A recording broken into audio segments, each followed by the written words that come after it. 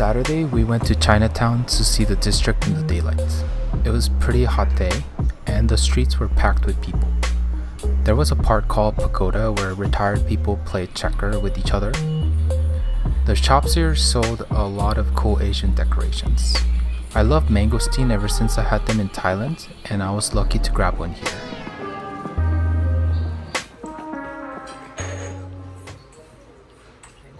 In the evening, we went to Gardens by the Bay.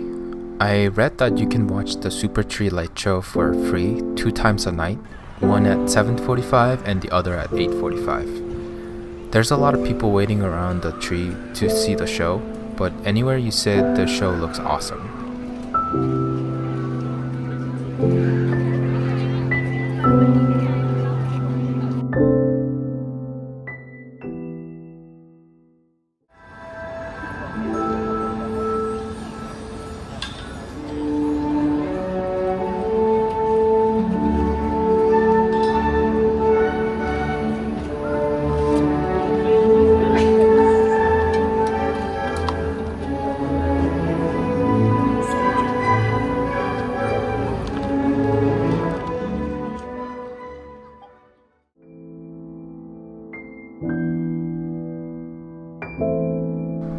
I came back to the hotel and tried the mangosteen.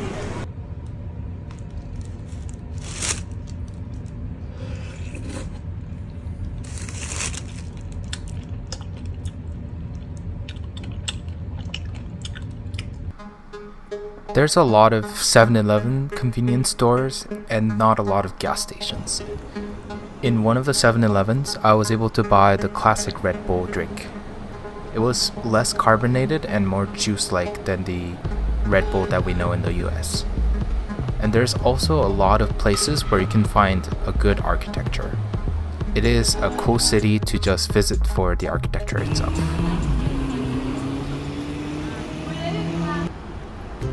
On the way to a restaurant, I met some cool cats.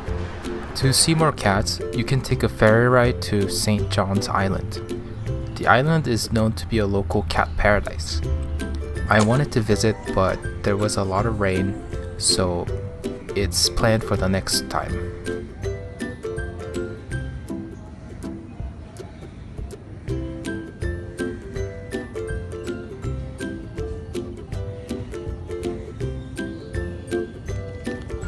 Also, there was an old Kia truck that was converted to be a bench.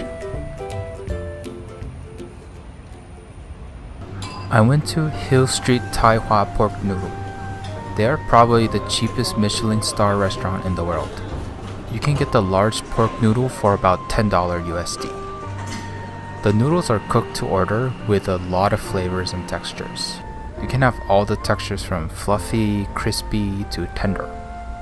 I waited about 30 minutes in line at 11:30 a.m. on Sunday. After lunch, I went to the Flower Dome and the Cloud Forest.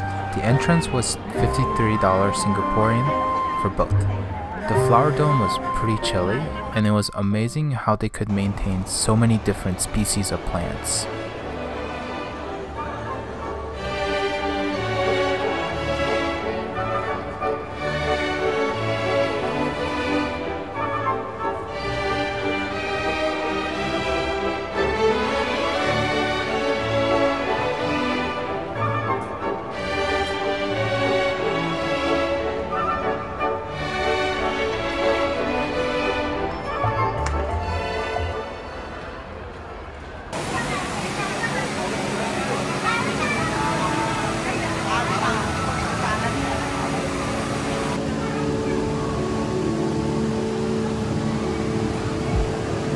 This is the Cloud Forest. In the Cloud Forest, there was a special exhibit for the movie Avatar World. Very fittingly, the entire place was like being in a rainforest and cloud. This place is great for family and kids because there's a lot of cool activities you can do.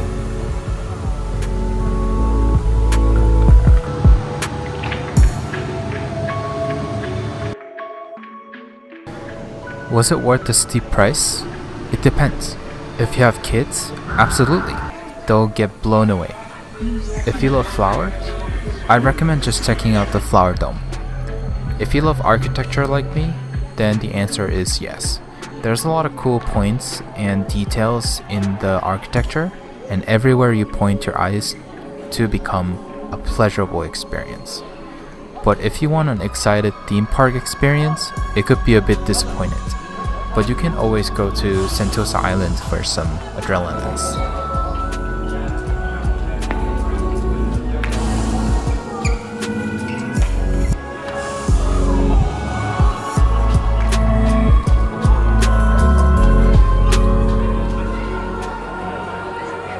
It's time to give Singapore an honest opinion.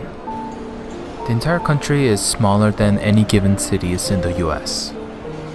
And it is a city packed with stuff to do to make you forget how small it is. If you love the city life and also can stand the hot and humid tropical weather, there's no other place like here.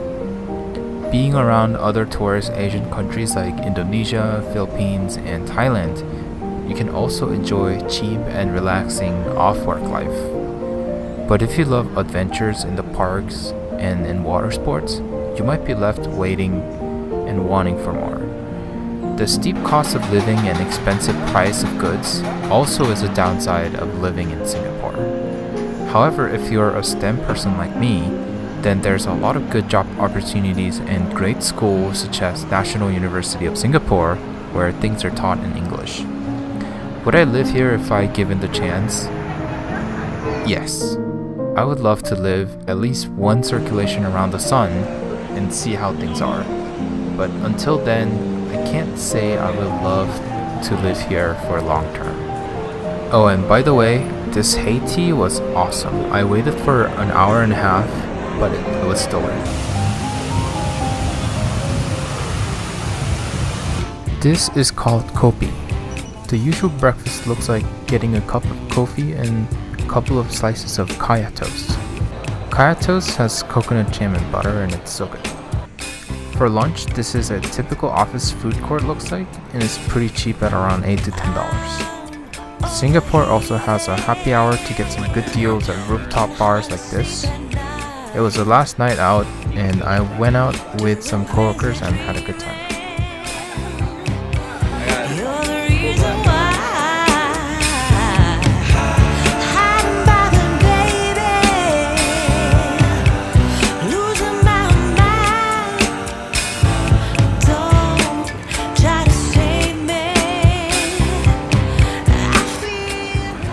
On the day of the departure, we went to Changi Airport again.